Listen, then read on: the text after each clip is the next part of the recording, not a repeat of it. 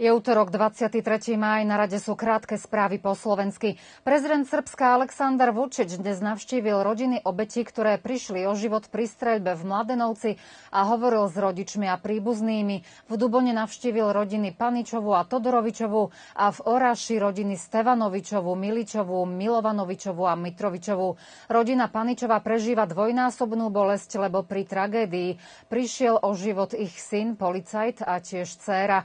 Najmladší Najmladšia obeď masového vraha mala 15 rokov a najstaršia 25.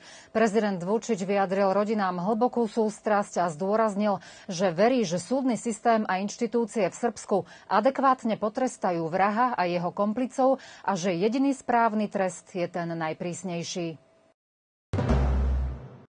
Poslanci parlamentu dnes pokračovali v zasadnutí, na ktorom preberali správu vlády o bezpečnostnej situácii po masových vraždách v základnej škole Vladislava Rybnikara v Belehrade a v Smedereve a Mladenovci. Na zasadnutí bola prítomná aj premiérka Anna Brnabičová a rezortní ministri. Poslanecké otázky sa týkali fungovania systému po tragédii, nosenia zbraní, ale aj iných spoločenských tém. Minister vnútra Branislav Gašič povedal, že sa musí hľadať spôsob, aby sa už nikdy podobné tragédie nestali. Podpredseda vlády a minister financií Siniša Mali a generálny riaditeľ podniku NIS Nový Sad Kiril Turdenev podpísali dnes zmluvu o donácii, podľa ktorej spomenutý podnik zabezpečí 60 miliónov eur usmernených na podporu projektov vlády Srbska z oblasti vzdelávania, sociálnej a zdravotnej ochrany. Minister financií sa v mene vlády poďakoval za donáciu a vyjadril potešenie, že tieto prostriedky budú usmernené na podporu projektov v oblasti s veľkým významom pre pokrok a ďalší rozvoj spoločnosti. Generálny riaditeľ NISu povedal, že tento podnik je lídrom v spoločensko zodpovednom biznise a že sú hrdí na fakt, že občania Srbska majú veľkú dôveru v ich spoločnosť.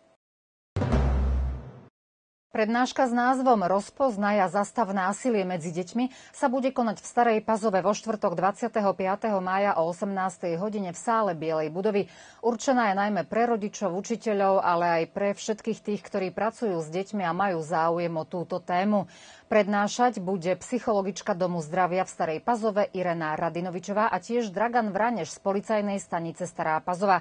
Ako vysvetlila riaditeľka Domu zdravia Stará Pazova doktorka Svetlana Dudičová, táto prednáška je výsledkom spoločného stretnutia aktívu riaditeľov základných a stredných škôl obce Stará Pazova, policajnej stanice, Rady pre zdravie obce, kancelárie pre mladých a strediska sociálnej práce.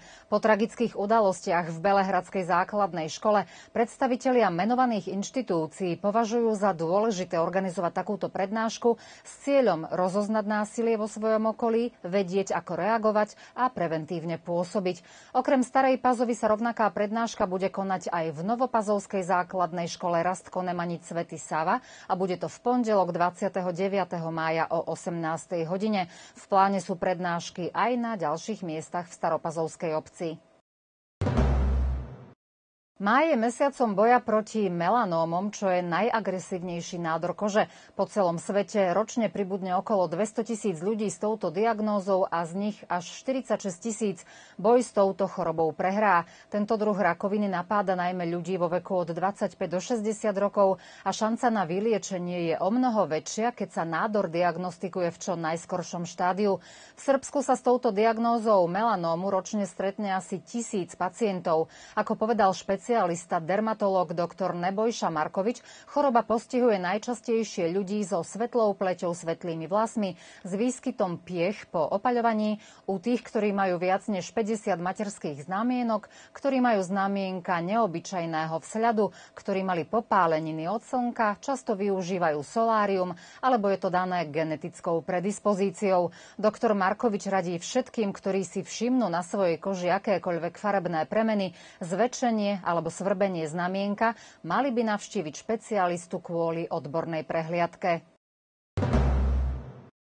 Včera večer sa v knižnici Dosité Obradoviča uskutočnil literárny večierok s hostiami, spisovateľmi z Bratislavy. Podujatie úvodným pozdravom otvorila riaditeľka knižnice Dragana Milašová. Staropazovský spisovateľ a novinár Martin Prebudila tu bol v úlohe moderátora večierka a počas programu prečítal aj jednu zo svojich básní. Ako prvý sa s novými knižnými titulmi predstavil Miroslav Demák, prečítal zo pár básní z knihy Odkaz ukrytý medzi lupeňmi a po ňom sa pozor pozornosť presunula na básnika Erika Ondrejčku. Jeho kniha básni z vnútornej strany Viečok uzrela svetlo sveta aj v srbskom jazyku, a to vďaka prekladateľovi Demákovi.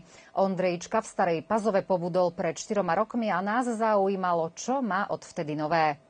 V roku 19 mi vyšli dve knižky slovenské, poézie eh, a v roku 20 tiež dve jedna výber ľubostnej plus ešte nejaké nepublikované a posledná zbierka volanie a okrem toho aj nejaké, nejaké knižky v iných jazykoch.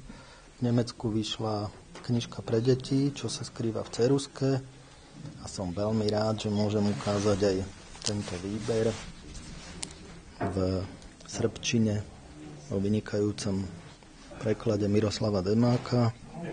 Všetci si ten preklad pochvalujú, tak sa teším, že ju môžem aj tu dnes odprezentovať. Je to môj host. Jeho knihu som prekladal 5 rokov a myslím, že to je jeden z mojich najlepších prekladov. A tak trošku aj o sebe poviem niečo, prečítam nejakú svoju básničku a ukážem aj tú knihu o tých kvetoch, čo, čo som zostavil. Lebo Premiéra bude akože na fare vo štvrtok, ale neviem, či všetci prídu, ktorí sú tu, takže by som to tam aj tu ukázal. No. Dávame vám teda do pozornosti aj literárny večer, ktorý sa bude konať vo štvrtok 25. mája od 19. hodiny v priestoroch Starej evanielickej fary, kde sa okrem spomínaných spisovateľov predstavia aj ďalší autory. Ešte pozvánka na zajtra do galérii Miry Brdkovej o 19. hodine sa tu bude otvárať výstava akvarelov maliara Zdravka Mirčetu. Umelec pôsobí v Belehrade aj Štokholme. V Starej Pazove predstaví okolo 20 svojich prác a okrem neho sa prítomným v úvode prihovorí aj akademický maliar Zoran Čalia z Rady galérie. Vstup je voľný zajtra o 19. hodine. Verejnokomunálny podnik Čistoča oznamuje, že v súlade s programom jarného upratovania organizujú bezplatný odvoz nadrozmerného odpadu z domácností. V sobotu 27. mája sa nadrozmerný odpad bude vyvážať z Golubiniec a Starej Pazovy. Občania, ktorí majú záujem, majú odpad vyniesť pred svoje domy v sobotu do 7 hodiny ráno. Pod nadrozmerným odpadom sa rozumie starý nábytok, bicykle, väčšie spotrebiče a podobne, ale nepatrí tu stavebný materiál, pneumatiky, ani obaly od chemikálií. Hádzanárky mladosti z Novej Pazovy včera večer slávili víťazstvo nad súpermi z klubu Bekament. Výsledok zápasu je 33-26. Týmto výkonom sa skončila aktuálna sezóna Arkus Ligy. Novopazovčanky dosiahli neuveriteľný výsledok. Sú na štvrtom mieste v tejto vysokej súťaži Srbska. Za najlepšiu hráčku zápasu bola vyhlásená Nikolina Čurčin, ktorej sa podarilo dať v poslednom zápase sezóny 8 gólov.